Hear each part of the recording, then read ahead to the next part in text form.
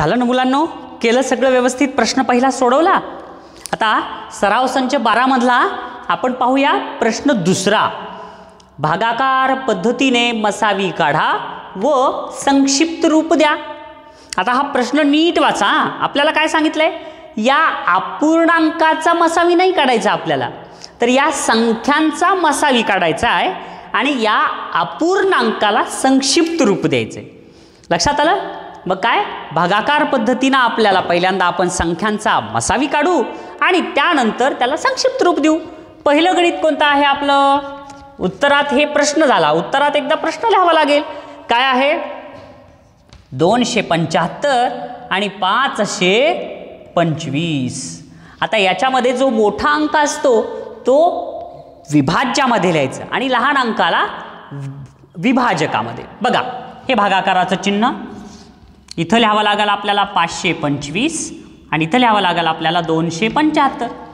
भाग कितीचा जाईल? एकचा भाग जाईल. एक. इथं भाग येईल दोनशे पंच्याहत्तर. पाचमधून पाच गेले शून्य. दोनमधून सात वजा होत नाहीत म्हणून बारा घेतले.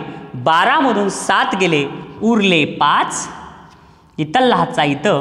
पाचमधून तीन गेले उरले दोन. किती आलं? दोनशे पन्नास. आता काय करायचं? या दोनशे पन्नासला आपल्याला अशा पद्धतीनं इत. हे दोनशे पन्नास आता होणार विभाजक आणि दोनशे पंच्याहत्तर होणार भाज्य. आता इकडं भागाकार. दोनशे पन्नास न दोनशे पंच्याहत्तरला एकचाच भाग. इथं दोनशे पन्नास आलं. वरून पाच. सातमधून पाच केले दोन. शून्याशी शू दोनमधून दोन केले शून्य. आता ही जी बाकी आहे या बाकीनं विभाजकाला भागायचं. मग आता इथं काय येईल? दोनशे पन्नास. बरोबर आहे? मग आता पंचवीस एक पंचवीस. पंचवीसमधून पंचवीस गेले शून्यवरून शून्याचा भाग घातला. आणि शून्याचा भाग जात नाही म्हणून शून्य दिलं. समजलं? तर उत्तर किती आलं? मसावी आला दहा. सगळ्यात पहिल्यांदा तुम्हाला काय लिहावं लागेल? मसावी. लगेच खाली लिहायचं. म्हणून दोनशे पंच्याहत्तर व पाचशे पंचवीस यांचा मसावी किती आहे? मसावी किती आलं उत्तर? जे आलं ते लिहायचं उत्तर. किती आहे? दहा आहे. आता आपल्याला द्यायचं संक्षिप्त रूप. ठीक आहे? मग आता जर आपल्याला त्यांचं संक्षिप्त रूप जर द्यायचं असेल आहा आहा आहा. जे भागाकार येते ते नाही तर जे भाजक आहे आपल्याला बघा महत्तम सामायिक विभाजक पाहायचं आहे हे विभाजक आहे का? मग तुमचं लक्ष आहे का? इथं आहे पंचवीस. म्हणून मसावी किती येणार? पंचवीस. समजलं? हा असं बरोबर लक्ष ठेवायचं तुम्ही. छान. मग आता इथं बघा संक्षिप्त रूप द्यायचं आहे दोनशे पंच्याहत्तर भागिले पाचशे पंचवीस. या दोघांनाही संक्षिप्त रूप देण्यासाठी मसावी जो येतो त्या मसावीनं भागाकार करायचा. आणि भागाकार केल्यानंतर उत्तर किती येईल? पंचवीस एक पंचवीस. आणि पंचवीसमधून पं सत्तावीसमधून पंचवीस गेले दोन उरले. इथं पुन्हा पंचवीस एक पंचवीस. वर आला अकरा. इथं पंचवीस दोन्ही पन्नास आणि पंचवीस एक पंचवीस. ह्याचं उत्तर आलं संक्षिप्त रूपात अकरा छेद एकवीस आणि मसावी आला पंचवीस. समजलं? फार सोपं आहे. मन लावून करा. आलं ना मुलांनो? चला आता प्रश्न दुसरा मधलं दुसरं शहात्तर छेद एकशे तेहतीस. आता हा भागाकार पद्धतीनं काढायचं आहे पहिल्यांदा मसावी. मग शहात्तर एक शहात्तर. आता हे शहात्तर एककच्या खाली एकक आणि दशकच्या खाली दशक मांडा. तर उत्तर बरोबर येईल. तीनमधून सहा जात नाहीत म्हणून तेरामधून सहा काढले. आणि किती उरले? सहा. तेरामधून सहा गेले सात उरले. आणि मग हातचा इकडं दिला. पुन्हा तीनमधून आठ वजा होत नाहीत म्हणून तेरा केलं. तेरामधून आठ गेले पाच उरले. आता याला काय करावं लागेल आपल्याला? भाजक. आणि इकडं शहात्तर घावे लागतील आणि बाकी तिकडं. सत्तावन्न एक सत्तावन्न. सहामधून सात वजा होत नाहीत.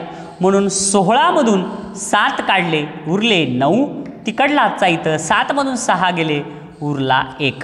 आणि मग इथं एकोणीसच्या इथं हे सत्तावन्न आता जे भाजक होते त्याला भाज्य केलं. एकोणी एक एकोणी एकोणीस दोन्ही अडोतीस आणि एकोणीस त्रिक. सत्तावन्न. आणि मग सत्तावन्नमधून सत्तावन्न वजा गेले शून्य. बाकी शून्य आली मग उत्तर किती आहे? भागाकार तीन आहे. पण आपल्याला भागाकार नाही पाहायचा विभाजक पाहायचं आहे विभाजक किती आहे? एकोणीस. म्हणून शहात्तर व एकशे तेहतीस यांचा मसावी किती आला? एकोणीस होय.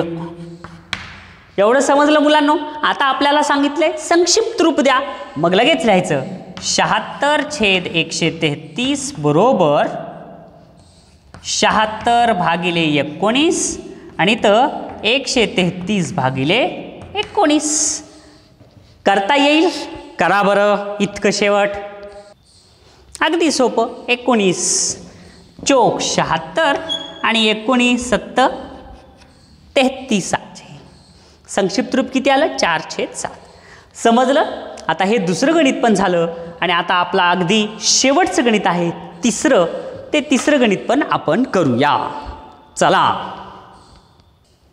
चला. तिसरं गणित काय आहे मुलांनो? प्रश्न दुसरामधलं. एकशे एकसष्ट छेद एकोणसत्तर. या अपूर्णांकांकडं पाहायचं नाही तर या संख्यांचा आपल्याला मसावी काढायचा आहे भागाकार पद्धतीनं. म्हणून लहान संख्या कंसाच्या बाहेर आणि मोठी संख्या कंसामध्ये म्हणजेच भाज्याच्या स्वरूपात. मग एकोणसत्तर एक एकोणसत्तर इथं वजा करा. अकरामधून नऊ गेले उरले दोन. तिकडला हातचा इथं सोहळामधून सात गेले उरले नऊ. करे हां आता इथं कितीनं भाग जाईल? इथं भाग जाईल दोनने. एकोणसत्तर दोन्ही. हा बघा एकोणसत्तर गुणिले दोन नऊ दोन्ही अठराला आठ हात चाला एक साई दोन्ही बारा आणि एक तेरा. एकशे अडोतीस.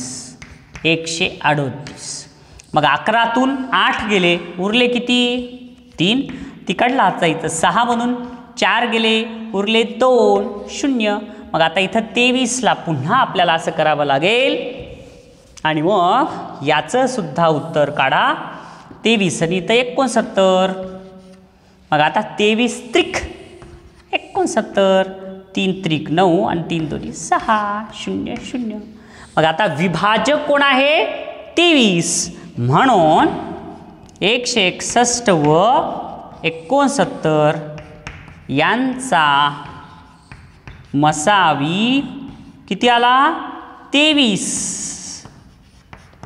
तेवीस होय. आता याचं संक्षिप्त रूप मग खाली लिहा. एकशे एकसष्ट छेद एकोणसत्तर बरोबर? एकशे एकसष्ट भागिले इथं तेवीस आणि एकोणसत्तर भागिले तेवीस. बरोबर? मग किती येईल? तेवीस सत्त एकसष्ट नीचे आणि तेवीस त्रिक एकोणसत्तर संपलं सातशे तीन समजलं? मुलांनो सराव संच बारामधला हा दुसरा संच अतिशय महत्त्वाचा आणि फार सोपा होता.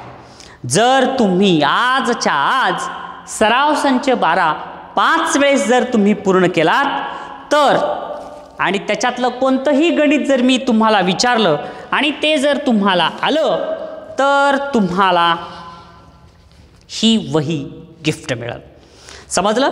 त्याच्यासाठी तुम्ही कुठल्याही परिस्थितीमध्ये अभ्यास चांगला करा आणि गिफ्ट घ्या.